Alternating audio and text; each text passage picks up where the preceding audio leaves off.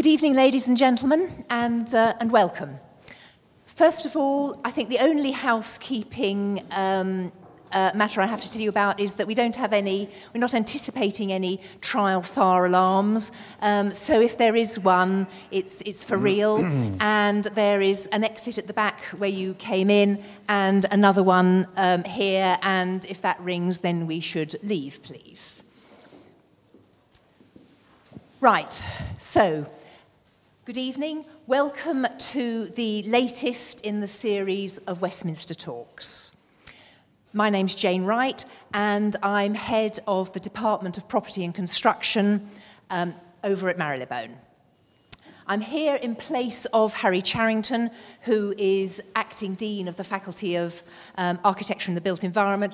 Um, unfortunately, he is very poorly. He, he, he rang me this morning with his I'm definitely feeling very poorly voice on and said he was really sorry that he can't be here this evening. Our talk this evening is being given by James Wates, CBE, Chairman of Wates Construction and a Governor of the University. Not only that, um, he's also an alumnus, having, I understand, studied estate management here a year or two ago. One or two. James joined Wates Construction in 1983 and was appointed chairman in 2013 as well as leading one of the foremost family owned companies in the sector, he has a splendid record of leadership in several other industry bodies. For example, he's chair of the CITB. He's a trustee of the Building Research Establishment. He was a, a long-time chair of the UK Contractors Group until last September it merged with the National Specialist Contractors Council, to form Build UK, of which he is now a co-chair. Beyond this, he's also been involved or is involved in various charitable programs, including, again, just for example, uh, chair of the Prince's Trust Built Environment Leadership Group and vice chair of the Queen Elizabeth Foundation uh, for Disabled People. In January 2012, James was awarded the CBE for services to construction and the charitable sector. The Faculty of Architecture and the Built Environment is particularly proud of the university's ongoing relationship with James and with Wates. And I'm sure that James's talk will reveal that we hold many common values, passions and beliefs in this sector. Professionalism is the key to all we do in the faculty, most of our students are employed within one of the built environment professions. And one of the features of our courses is the number of guest speakers and visiting lecturers who contribute to our programs. We're firm believers in increased cooperation across the sector and an understanding that we need to work in a complementary, not competing way with each other. It's really important that we acknowledge that each of us has a particular and special contribution to make. To take James's theme of medicine, uh, perhaps we need to see ourselves like a team in an operating theatre, working together with the understanding the only really important outcome is the health of the patient. The health of the construction industry, really important. The challenge of nurturing professionalism in an ever pressured and monetised commercial environment will, I'm sure, make a fascinating talk. I'd like to end with thanking James and the Wates Family Enterprise Trust for their generous support for the faculty in offering us 10 new scholarships. These will be for students embarking on full-time undergraduate study from this year. The plan is that these scholarships will help support able students who may be the first in their families to attend university and who, but for this financial support, might not otherwise be able to contemplate a university education. Thank you, James, for your part in that. And now, over to you. Okay. Thank you.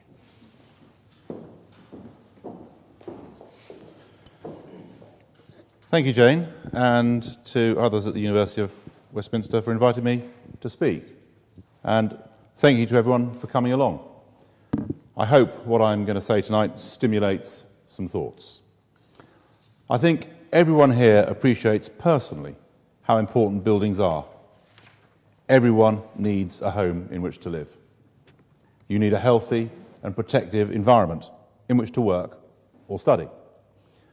And right this very minute, you need a roof over your head and a comfortable place to sit.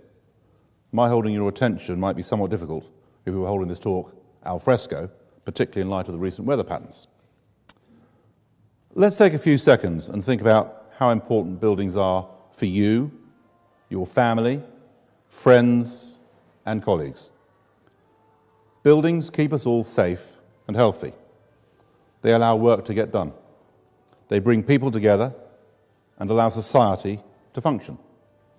They enable civilization and culture to exist and persist. They serve practical purposes, but also often delight and inspire us with their art and indeed majesty. So, with such high importance, we have to wonder why so much poor building goes on. We often hear of so called cowboy builders and homes that literally fail to keep people warm and dry. The world is full of bad buildings. Not far away from here, up on the Marylebone Road, my company is renovating the old Marylebone Town Hall, creating a new world class educational facility for London Business School. The Town Hall is a beautiful and historic structure, of particular note for being the site of many celebrity marriages. Some of you might know that that's Paul McCartney's favourite place. A lot of you probably don't know he's done it three times. A glutton for punishment, you might say. The main structure was built in the 1920s, and the annex was added in the 40s. Ironically, it is the newer annex that is in the worst shape. Poor construction meant that water seeped into the structure, and the steel beams have begun to rust. The damage is, of course, repairable, but at a cost. But it is a wonder how a building so symbolically important could have been constructed so poorly. Some of it was undoubtedly poor knowledge at the time, but some of it was undoubtedly poor execution. I personally am passionate about building. I've been in the construction business since I was a teenager. And even when I was studying here at the University of Westminster, or PCL as it was in my day, I couldn't wait to get back into the industry and work on site, and probably earn some money too, and that was for the beer. Building is in my blood. I get frustrated when things go wrong. I get frustrated when builders do shoddy work and people suffer as a result. When industry bodies fail to set and maintain strong quality standards. When we fail to attract bright and motivated young people to pursue careers in construction.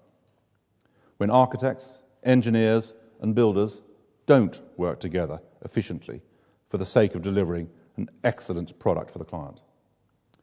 Of course, it's inevitable that things go wrong. Mistakes happen. I know firsthand. I remember as a young section manager putting a hole in the wrong place in a concrete slab. That's not an easy mistake to rectify, I can assure you. And I've never been allowed to forget it either. Fortunately, I learned from my mistakes. And fortunately, again, there is hope in the world, or there's hope for the world, for a shoddy building. And in a word, that hope is professionalism. Being so committed to the construction industry, I have aspirations that professionalism in the built environment can achieve the same standards as, for example, in the fields of medicine or the law. Lofty aspirations indeed, but are they warranted, you may ask? I believe they are. So this evening, I want to talk to you about the importance of building, the value of professionalism to building, and how professionalism can make all of our lives a little bit better. I've already mentioned how buildings are integral to our lives, our work, and our society. I should add that the construction industry is an economic engine room. 70% of the world's wealth is in land and buildings. And probably half of that value is just down the road in Mayfair. But I'm not, I'm not a surveyor, so don't quote me on that. I'm proud that nearly 10% of the UK's GDP is provided by the construction industry in its broadest context. From the designers and engineers to the building contractors to those who maintain and repair the facilities. It's a £125 billion a year industry. And let's not forget, construction leaves a tremendously long legacy. What we build today will affect people's lives long into the future. And what we produce today will affect how future generations view our society and our legacy. Think about it. Do we want today's buildings to be compared to the Victorian era's, era's sturdy homes and majestic museums? Or to the 1960s high rise council flats and soulless concrete town centres? Building is important for so many reasons. You may be thinking back to the title of this speech and wondering isn't it a stretch to compare the construction industry with the medical field? Perhaps in some ways it is, but I think it deserves a few thoughts.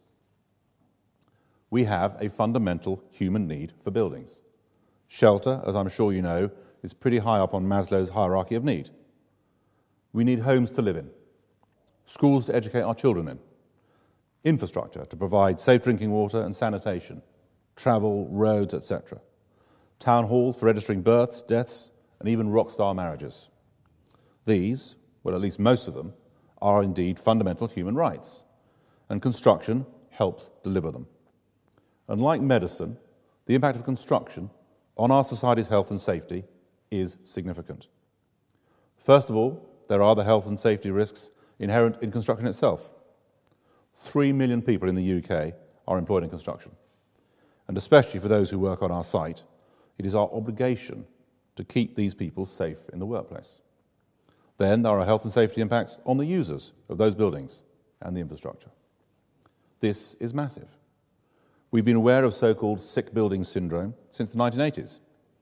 Buildings plagued with poor ventilation, mold, toxic chemicals, etc., and they bear huge costs to workers, employers, government, and society. An estimated £30 billion worth of GDP is lost to illness each year in the UK. And some of this can directly be attributed to the buildings we work in. On the more positive side, we've become more aware recently of how well designed buildings can improve the well being of people who use them. Studies have shown that hospital patients with views of nature heal more quickly. Office workers with a window seat sleep better at night. And doubling the supply of outdoor air to an office reduces short term sick leave by 35%. So, whenever a construction company like mine begins a project, we are acutely aware of the building's future impact on people who use it. Perhaps the sense of responsibility borne by a construction worker yielding a trowel is not as acute as that borne by a surgeon yielding a scalpel. But that's an extreme example. Some analogies exist between construction, some of the analogies that exist between construction and medicine do hold true. Success requires many specialists working in coordination. Teamwork is vital. Failure puts lives at stake and impacts many more. It's been said that diagnosis is Greek for best guess. While the classicists amongst you will know that's not the exact translation, it does illustrate a point. In construction, as in medicine, it's not always easy to figure out exactly what's wrong. We are indeed dealing with complex structures. In construction, we have to get it right first time. Look at Taiwan. Plain and simple, errors lead to misery. So, how do we avoid errors? Here again, we return to my favourite word professionalism. Professional, professionalism is one of those principles that is difficult to find fault with. Of course, we all want more professionalism. There's no downside to it, especially if you agree with the popular saying if you think hiring a professional is expensive, try hiring an amateur. And so it is for the construction industry. We all want to be professionals and deliver quality work which represents good value for our clients. But scratch the surface, and we find there is a lot more to professionalism than glib sayings. Just getting paid to do a job is not enough. My son could get paid for mowing someone's lawn. That doesn't make him a professional. Professionalism is about excellence, adding value, and importantly, earning a premium for it. In the medical field, there are numerous laws, standards, and institutions that help define what makes a professional. Doctors in the UK have to be registered with the General Medical Council, and they have to adhere to its standards. Critically, there is a rich tradition of ethics in medicine, tracing back to the Hippocratic, Oath. This ethical foundation is an integral part of professionalism. It is about integrity, being honest, delivering on promises. Professionalism in any field is also about quality, learning the skills and doing your job well. To retain quality, you need commitment, obtaining all the necessary qualifications and staying on top of the latest developments. Hence the need for continuous professional development. And at its heart is about being deserving of trust. If you, if you have ethics, quality, and commitment, the trust will follow. There is a long and rich tradition of professional institutions in the UK. We have numerous chartered institutes. We have the city livery companies and other guilds. We have an extensive array of organisations offering vocational qualifications and outstanding universities. All these institutions established, establish and promote professionalism in the form of high standards of quality and ethics. Furthermore, they promote a broad view of one's responsibilities, recognizing that an individual's actions can affect all of society. To be a professional is to act not just in your own interests, not just in the interests of your client, but also in the, in the interests of the broader public. This is in particular something that the professional institutions contribute a consideration of the public interest and involvement in development of public policy to that end. Lobbying is one other way to describe it. Another way is enlightening the legislative process with one's expertise, which I think sounds more erudite. But however you describe it, it has always been important for professional institutions to engage with those who are making the laws. It's even broader than that. The professional institutions also promote a commitment to be involved in society generally, and specifically in the schools.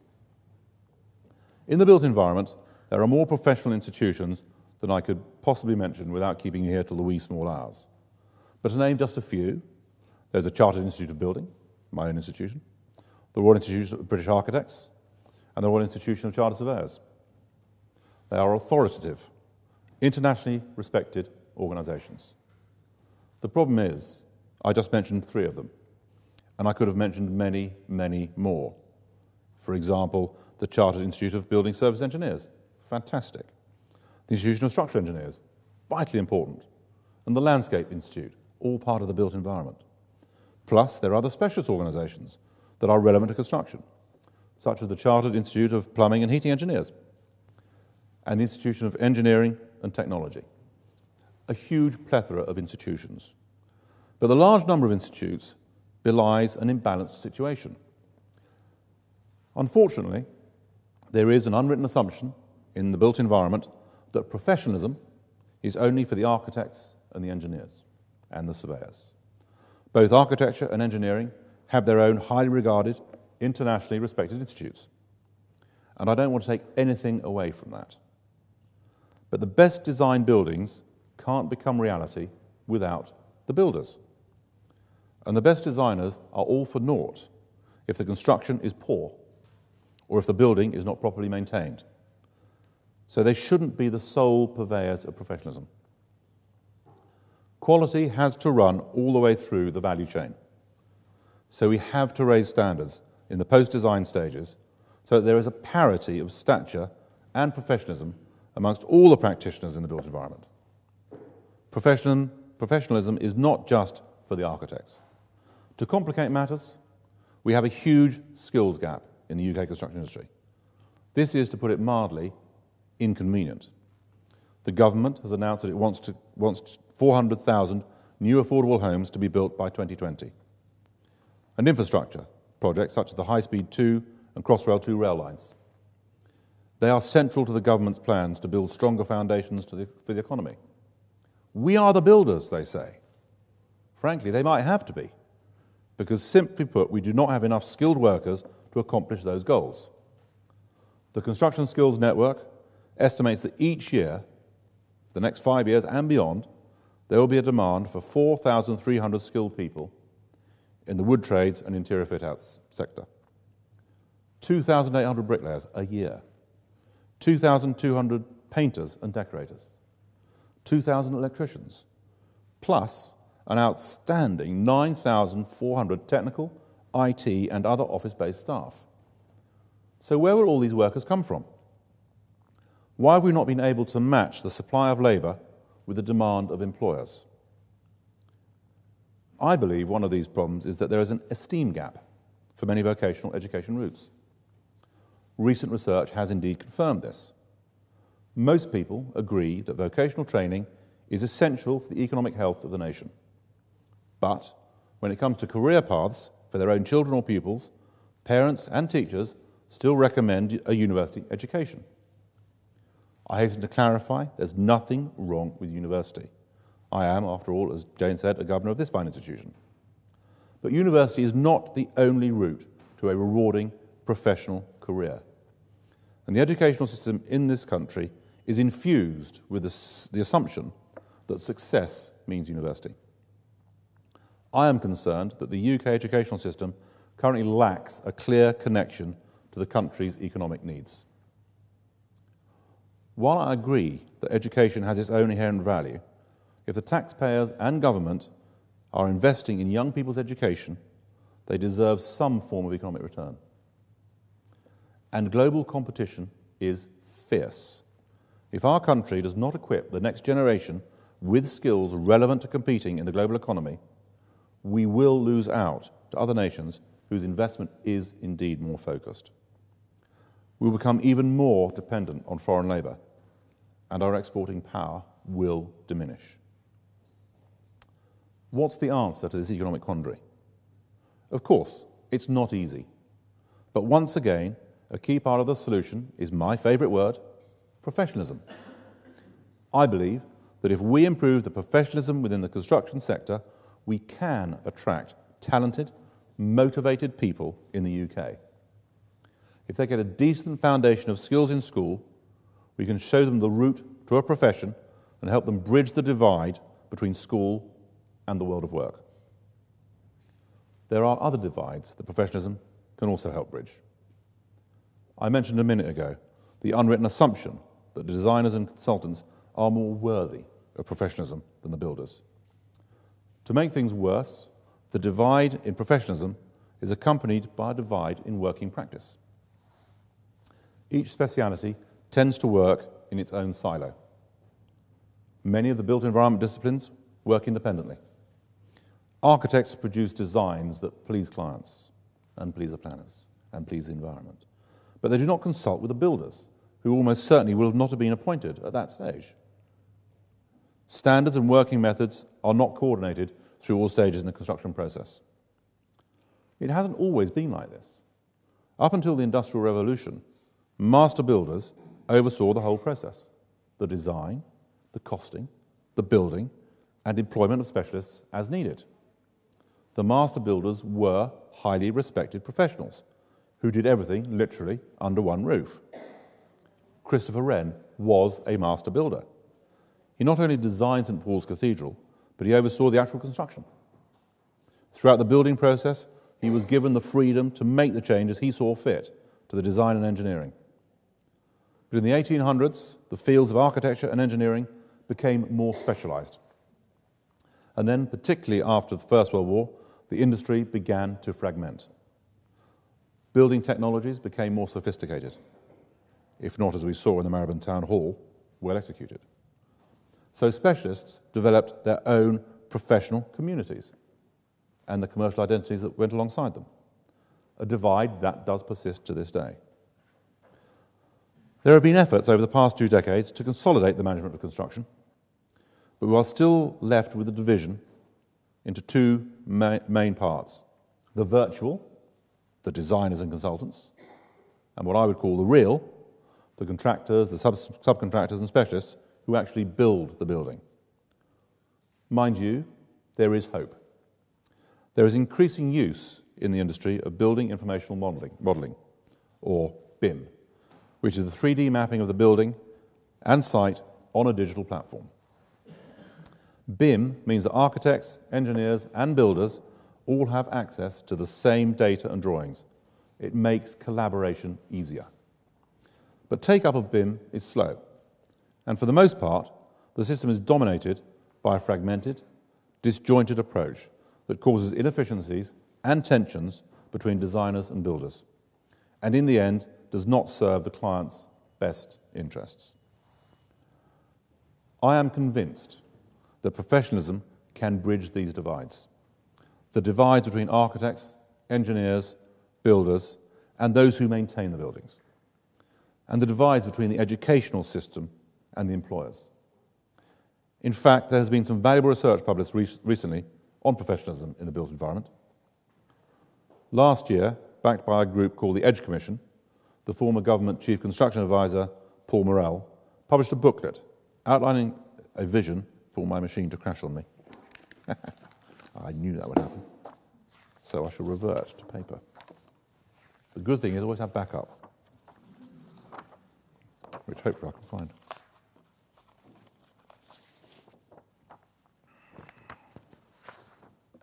Got there. Do bear with me.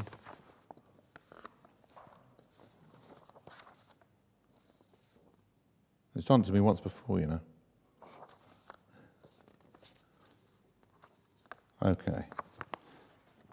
So Paul, Paul's view was that they're valuable research backed by um, the Edge Commission outlining a, a vision for greater professionalism in the built environment. The booklet provided extremely valuable recommendations, and here are just a few. To develop a single standard code of conduct to be used across the built environment, like the Hippocratic Oath is, in, is for medicine. To commit to a review of the silo nature of the education system as it relates to the built environment, with the ultimate goal of encouraging greater integration of specialisms in the academic and vocational worlds. To create a new interdisciplinary uh, designation of chartered construction and property professional. And to establish a joint think tank to pool resources of the, of the institutions, a kind of King's Fund for the built environment. Note the intriguing references to the medical profession, to which I will return in a minute. But I want to emphasize also that professionalism is not just for the institutions. It is not just about qualifications and abstract standards. It is about performance and delivery on the ground. Not just what we learn in the lecture hall, but, we, but what we execute on the construction site. We have some phenomenally bright people in this industry and in this country. And our ability to deliver massive projects, such as Crossrail and the Olympics, is proven. This country has world class experts in design, digital modelling, smart cities, infrastructure development, nuclear energy, and the list goes on. And the key to a productive sector is to embed the bright thinking at all stages in the delivery chain. Every stage needs to be smart and professional. In short, for the industry to become more professional, it is for the industry to behave more professionally. This means everybody in the built environment world upholding high standards of quality and ethical behaviour. The big construction companies, in particular, of which my own company is one, need to do a better job of delivering value for the customer. We've got to be client centric and we've got to see the end product as a whole. There's a great parable of the five blind men and an elephant. One feels the trunk and thinks it's a hosepipe. The second feels the tail and thinks it's a rope. The third feels a leg and thinks it's a tree. The fourth feels the body and thinks it's a wall. The fifth feels a tusk and thinks it's a spear. They're all right, of course, but unless they talk to each other, they'll get the diagnosis completely wrong. So it is in the construction industry. Architects, engineers, builders, and maintainers all need to communicate, collaborate, and care about the client. How to help this along? The Chartered Institute of Building, as an institution that has a fairly broad remit to begin with, should expand and become more relevant to more people in the built environment profession. The industry body, Build UK, which is representative of large contractors and smaller specialists alike, needs to become a magnet for many other trade associations, helping to unify the voice of the industry and establish a better image of construction so that we can attract a more diverse workforce and win the war for talent. We should work towards a world in which everyone in the built environment field has a professional qualification.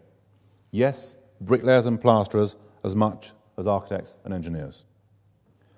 There's a huge amount of personal responsibility here.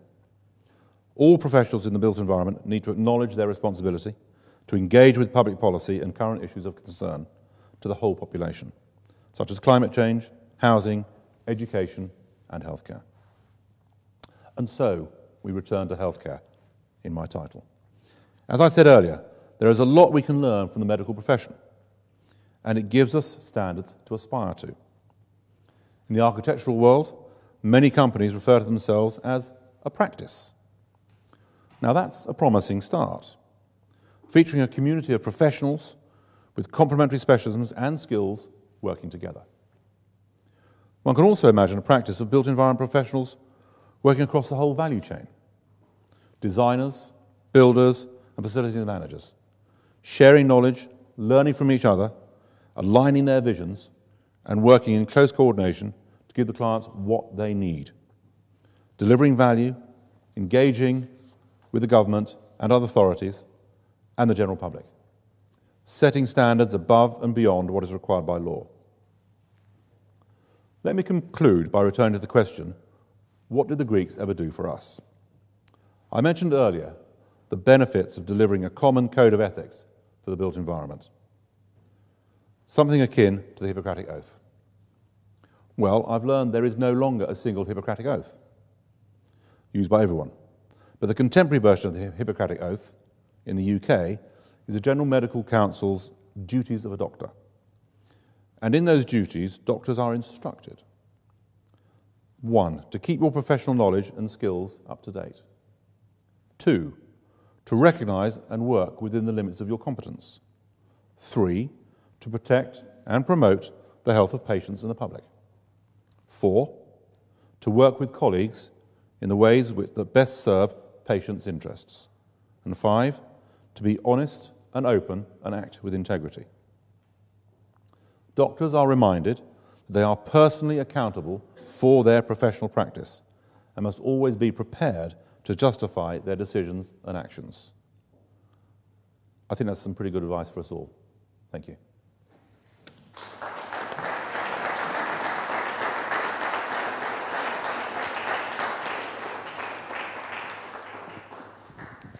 Thank you very much, James. Uh, we have time for just a few questions uh, before going and having uh, some refreshment. Do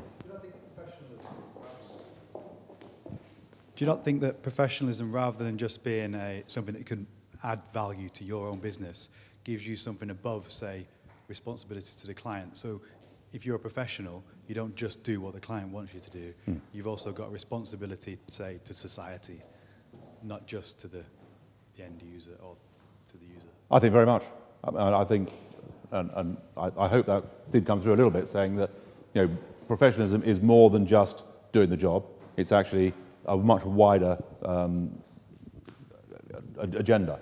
And I think you know, professionalism is about raising the standards. It is being the best you can be. And sometimes it will be doing actually beyond what your clients want. It might be doing something different to what your clients want. But you also need to, to close that circle with delivering the economic value to the client. So there's always a, a, a conundrum there. But I, I, think if you take the, the doctor analogy, um, you would expect your doctor to act with the greatest professionalism that he can. Um, you wouldn't tell him how to operate on your leg. But I think uh, from a, you know, a designer's point of view, you need to be able to challenge your client for what is the best thing and not necessarily say what the building is. We're taking the idea of as someone that's treating a patient, but say if we had RAWs and eugenics, for example, so, uh, and you could maybe genetically enhance your children, then other people may think that was illegal because it would make the, ne the next 1% of the world even more powerful than they've ever been. Mm. And that's the kind of responsibilities in genetics that in the construction industry could happen with your clients because they want you to push boundaries or cheat and stuff, um, which maybe would be wrong or incorrect. Yeah, and that's, I think, where the professional integrity comes into it um, and maintaining professional standards. You know, I, I mentioned the that terrible um, earthquake damaged building in Taiwan. You know, you could see how that was constructed. Um, so the constructor was unprofessional, and I would say the professionals who were overseeing it were unprofessional. Um, and that, was, that could well have been driven by a client wanting to keep costs down. So you know, it, it is, there's a, a very symbiotic relationship between professionalism and, and the need to deliver economic value. There was, sorry? Maybe that was the problem with the 60s. Possibly. Possibly. Thank you. Uh, moving on, could you just um, introduce yourself very briefly as you say your question at, at the back there? Uh, yes, David Batchelor, fellow governor. This is not a rogue question, I hope. On the subject of basic cost effectiveness, were the, the Victorian engineers better professionals or were they just allowed to over specify everything? oh, and he said it wasn't a rogue question. Uh, not a rogue question at all.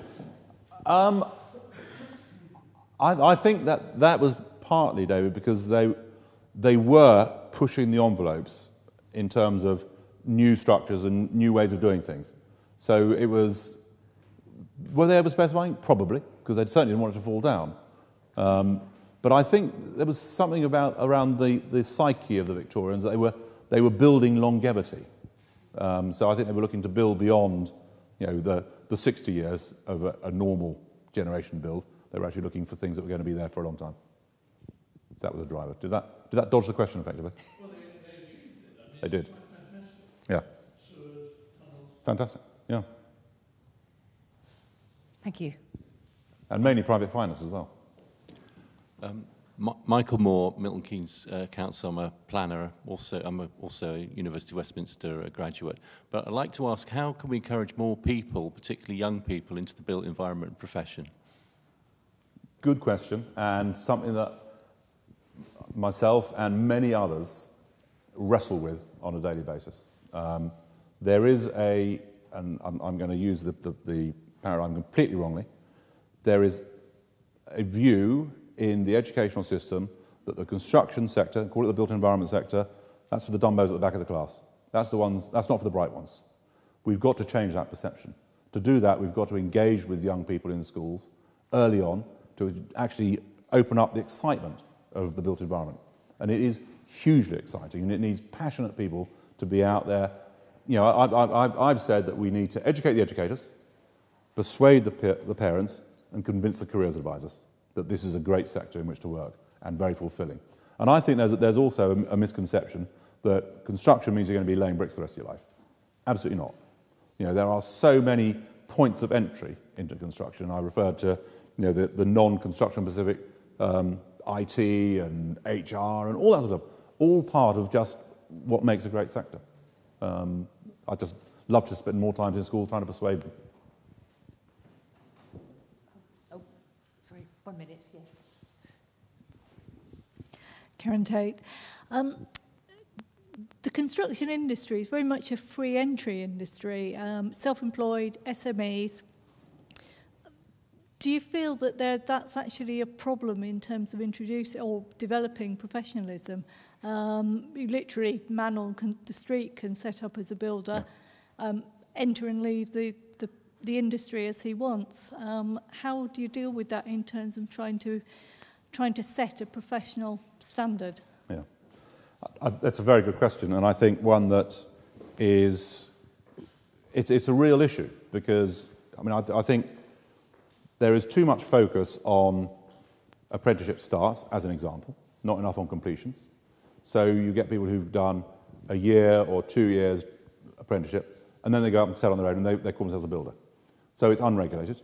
Um, you compare that with other places in the world, so the US, Canada, where you actually have to be a certified licensed contractor to do the work. I'm not one for bureaucracy, I'm not one for um, red tape and all that sort of thing, but I do think we need to maintain standards. We've got to get away in this country from every program about building on the television about the cowboy builders. It's not about the really good stuff we do. Um, we've got to change that perception.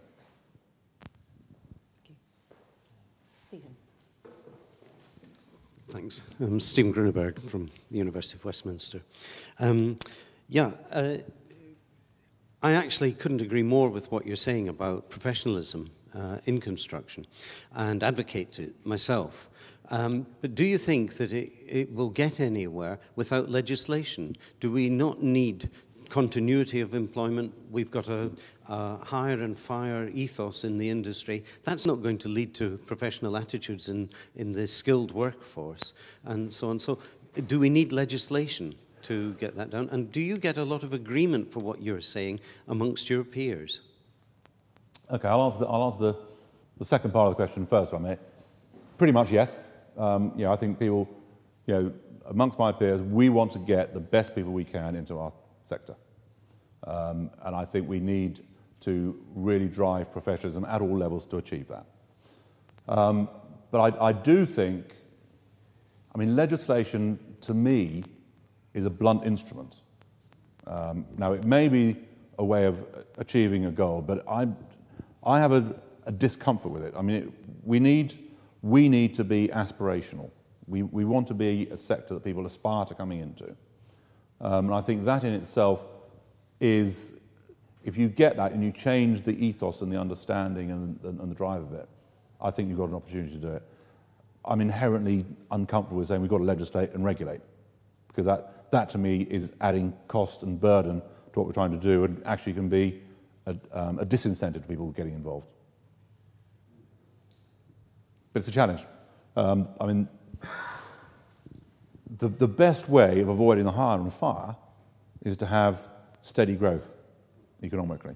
The problem is, you know, the, the construction sector is, it has such um, an economic, economic impact on the, the prosperity of great UK PLC that it's, it is very volatile. Um, I, mean, you, I mean, I was talking to someone earlier, you know, the fact that the stamp duty in increases that came in the last budget, the impact that has had on the housing market in London and is having is massive. That is going to actually lead to people redeploying elsewhere. So we're trying to build all these homes, but people will not be working in London, they'll be going elsewhere. So I think we've, we've got big issues. If we can have a, a steady economic cycle, that, that'd be a dream. Every, politi every politician would love that as well, I think. But then you, you can actually plan ahead, because the planning of resources is the big challenge. And in our sector, the majority of training, certainly vocational type training, is done by the smaller and medium-sized companies, um, so the trades training. And we would do, as you know, a main contractor, more technical and management type training. So the guys who are out there fighting tooth and nail for their bread and butter, they're getting up at the crack of dawn, they're putting their guys to work, they're then going back to their office and chasing payments or the ordering materials. They've then got to deal with health and safety. They've then got to deal with this and that. And ultimately, they're, they're thinking, I've got to get grant money from the CITB to do some training for an apprentice. It's so loud down, down the list of priorities. And alongside that, thinking, well, if I take an apprentice on, then I've got a commitment for three years. Will I have work from him in three years? Because those guys are committed to training apprentices, and they don't want to give them a false dawn. So it's, it's, it's a real, real conundrum. Um, and actually, it's something that um, Jane didn't mention, I've recently joined the Apprenticeship Delivery Board. So part of selling into business this need for 3 million apprentice starts, which I don't necessarily agree with. I prefer completions, but you've got to start somewhere.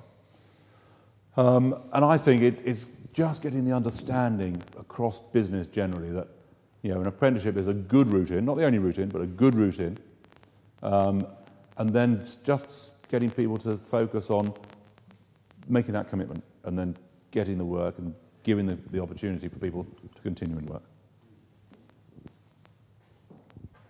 I think two more and then we'll have to uh, call it a day. Hi, Simon Foxell from the Architects Practice and The Edge. Thank you for quoting from our report. Um, do you feel that the professional institutions are fit for purpose um, for increasing the level of professionalism in the industry and what urgent tasks do they need to get underway in order to fulfill your vision? I think that's a very good leading question. Um, I, I think there are I think the institutions are not necessarily as quick to move as they should be. Um, the, the, the structures they operate within and so on, I think, make for the pace of change to be quite slow. And I think the institutions have got to become much more dynamic in how they, they address the need for change and evolution. Um, and I, I would say that as a generalism, um, not specifically. I mean, there are some that are very cutting edge and others that are, you know, still in a Victorian mentality. Um, urgent things to do, I, I think, is somehow unleashing the talent. You know, as I said when I was speaking, we've got very, very bright people in this country. We've got to give them opportunities. And sometimes that doesn't fit with the way an institutional think. I mean, we talk about institutional thinking. Sometimes you just need to, you know, cut the leash and let some of these young, bright people change things. And, and I think finally. Just a quick one. Thank you. Um, James, Linda from the Development Office at the University. Um, we've met before. Thank yep. you. Um, I just had a quick question about um, increasing diversity in the construction industry, yeah. which I've, and particularly about more women, bringing more women in, and where you feel that sits alongside, or can it sit alongside the agenda? Is it as important as the professionalisation of the industry? Absolutely. Um, diversity in the industry is my bête noire, um, and that is diversity uh, in the broadest context. Um, and let's just focus on the gender diversification. If we don't attract women into the industry, we are denying ourselves 50% of our potential talent, talent pool. And we've got to do it. And we've got to be smarter in the way we actually set about our building projects so that women can actually do more of the stuff that is done on site. You know, just to say women can only do painting and decorating, well, that's madness. There's an awful lot they can do on sites. And we've got to, we've got to be more thoughtful about how we design and procure so actually we can attract a greater um, breadth of talent. And I'm, I'm absolutely committed um, at Wates, um, where we are quite good, um, CITB, where we're trying to drive it from the industry's point of view, to actually get much greater diversity. Because if you're not diverse, you are missing out on massive amounts of talent that we desperately need. Absolutely. Yeah. May I just ask, finally, very grand aspirations, which I don't think any of us could really disagree with. But what can we do? What are the baby steps that, um, that, that we mm. can do to help move things along? I suppose that the, the, the baby steps are, is, it is just that. It is the baby steps. It, it's, not, it's not trying to solve world hunger, but it's just saying, you know, just promoting the message constantly about professionalism and making professionalism not easy to attain, but actually enjoyable to retain. Because I think a lot of people, and I mentioned CPD when I was doing professional development, a lot of people find that tough. Um, and somehow we've got to, and this is going back to the institutions question, actually, how do we get people to continue professional development? We've got to make it fun and interesting, not a drudge. James, fascinating, fascinating hour. Thank you so much for a really interesting talk, stimulated lots of ideas and questions. Thank you. Pleasure. Thank you.